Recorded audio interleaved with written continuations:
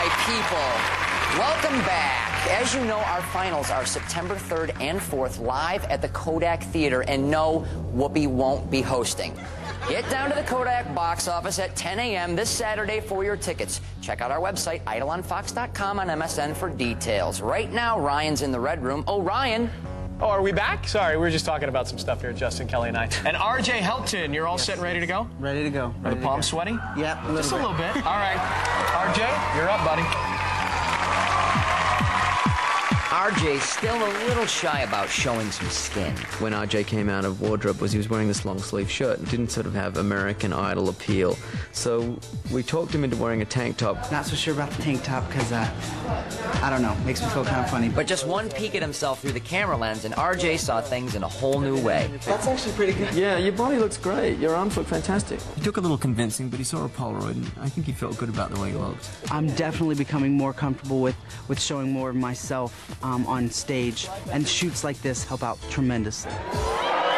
Singing Superstition, it's RJ Helton.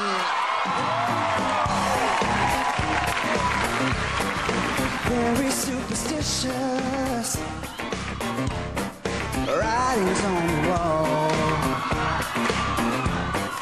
Very superstitious. Oh, ladder's about to 13 month old baby. Oh. Broke a looking glass. Seven years of bad luck.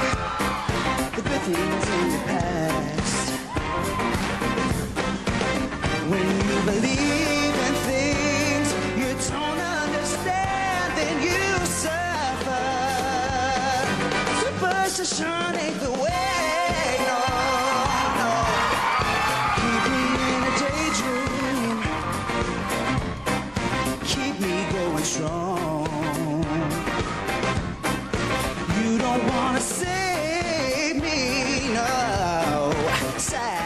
song.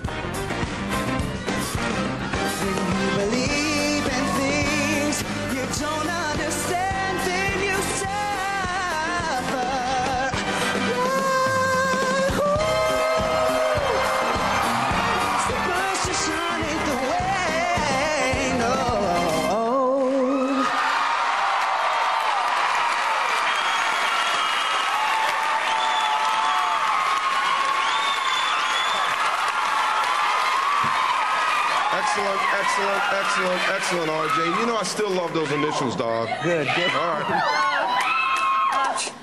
This is what I've been waiting for. I've been waiting for you to do this.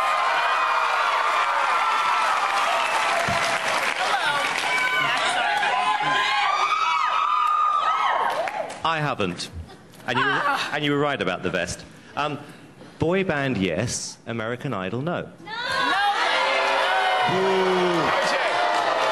RJ Helton, come on over. This was your best performance. Best performance to date. Thank you. RJ Helton.